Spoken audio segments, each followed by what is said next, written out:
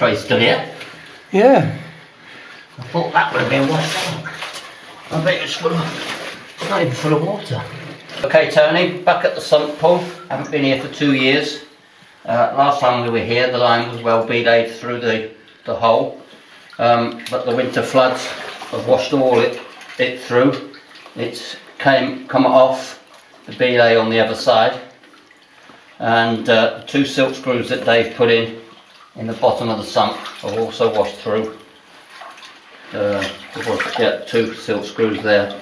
So all that's just floated around. So now we don't know where the slot is to go back in.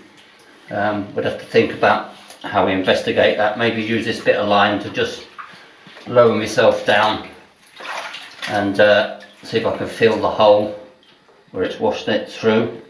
Um, but without a proper line reel going in, I'm not sure I want to do that, but we'll, we'll, we'll think about that in a minute.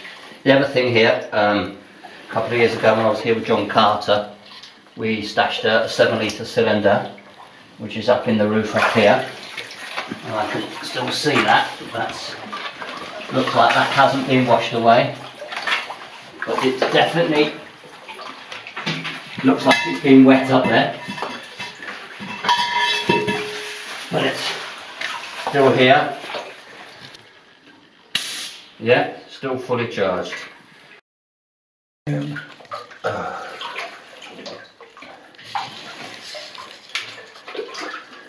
yeah, just got to watch this line.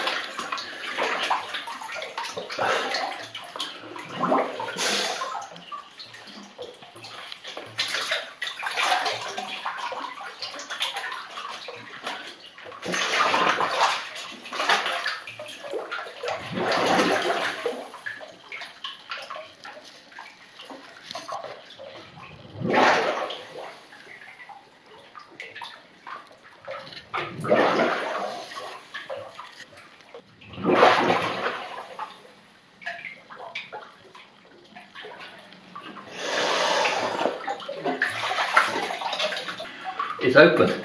It's open, Yeah, but can you get through? I think so, but I need a line reel. Not, I can't, can't trust this. I could feel through with my feet. I could feel right over here. I could feel right over there. And I could feel, you know, it wasn't like this last time. It's Mm. actually open. I actually went into a slot there, you know. Um, So is it uh, come back with the proper line? Or, Yeah, you need a proper line. It could do with a little bit of digging at the bottom there, just to pull up some of the, sl-. Because what it is is you're standing here and you're kicking it back down here. Uh, we're underneath the soft silt. There's some hard sand. So if you could scoop away the soft stuff, it'd be quite good. You could, I reckon, a few hours of digging in here, we'd open that right out. And uh, be able to get through, I think.